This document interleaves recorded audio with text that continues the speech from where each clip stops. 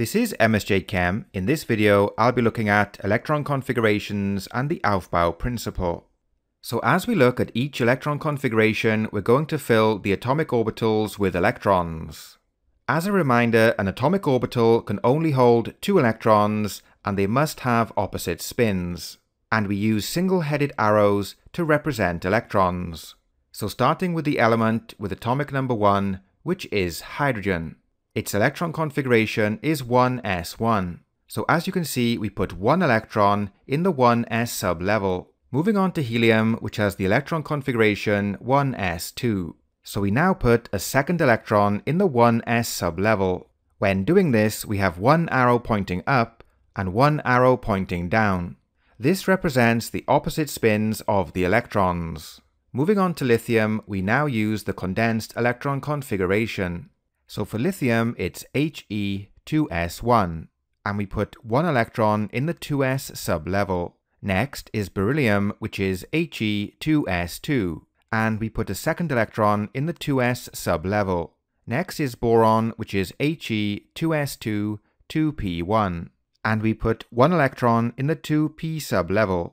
Moving on to carbon, which is He2s2 2p2. Note that when we add the second electron to the 2p sublevel, it goes into the next available empty orbital. Moving on to nitrogen, which is He2s2 2p3. So once again, you can see we put the third electron in the next available empty orbital. Next is oxygen, which is He2s2 2p4. So once each orbital in the 2p sublevel is occupied by one electron, we then go back and add a second electron to each orbital. Moving on to fluorine, which is He2s2 2p5. And then we come to the end of period 2, which is the noble gas neon. This has the condensed electron configuration He2s2 2p6.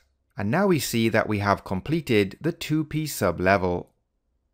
So next we move on to the period 3 elements, starting with sodium, atomic number 11. Note that we are now using the symbol for neon, which represents the core electrons 1s2, 2s2, 2p6. So we start with sodium, which has the electron configuration Ne3s1, and we put one electron in the 3s sublevel. Next we have magnesium, which is Ne3s2, and we have the second electron also in the 3s sublevel. Moving on to aluminium, which has the electron configuration Ne 3s2, 3p1, and we put one electron in the 3p sublevel. Next is silicon, which is Ne 3s2, 3p2. So once again, we have degenerate orbitals, so the second electron goes in the next available empty orbital.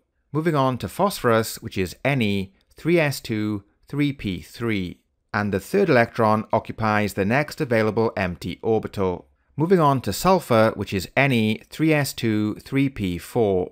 And as you can see, we now start to pair up the single electrons. Moving on to chlorine, which is Ne3s2 3p5. And finally, at the end of period 3, we have the noble gas argon, which has the electron configuration Ne3s2 3p6. And we have now completed the 3p sublevel. Next, we have the first seven elements in period 4, starting with potassium. Note, we are now using the symbol for argon to represent the core electrons. So for potassium, we have Ar4s1, and we put one electron in the 4s sublevel.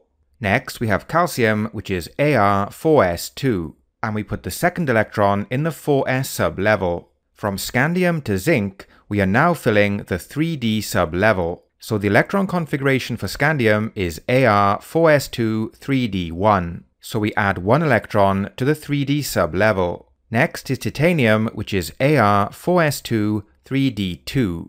So as we saw previously, when we have degenerate orbitals, we need to fill each orbital singly before putting in a second electron. So the second electron goes into the next empty available orbital. The next element is vanadium, which is Ar4s2 3d3.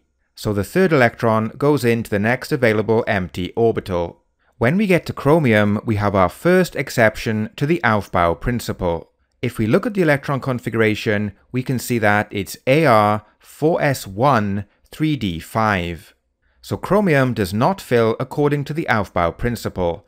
Instead, we have one electron in the 4s sublevel and five electrons in the 3d sublevel. And next we have manganese, which is Ar4s2 3d5. So for manganese, we have two electrons in the 4s sublevel and five electrons in the 3d sublevel. So next we look at the electron configurations of the remaining five d block elements starting with iron, which is Ar4s2 3d6. Next is cobalt, which is Ar4s2 3d7. Moving on to nickel, which is Ar4s2 3d8. And here we have our second exception to the Aufbau principle. The electron configuration of copper is Ar4s1 3d10.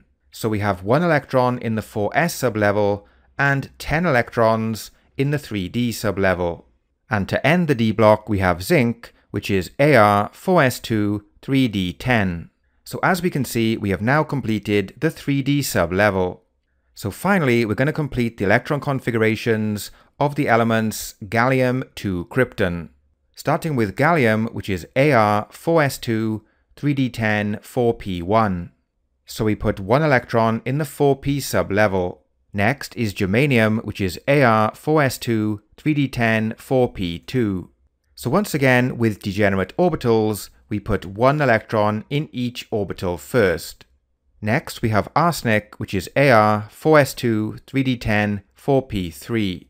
Moving on to selenium, which is Ar4s2 3d10 4p4. Next, we have bromine, which is Ar4s2 3d10 4p5. And to finish up period 4 and the 4p sublevel, we have the noble gas krypton. The electron configuration is Ar4s2 3d10 4p6. And that covers the first 36 elements of the periodic table. Atomic number 1, which is hydrogen, to atomic number 36, which is krypton.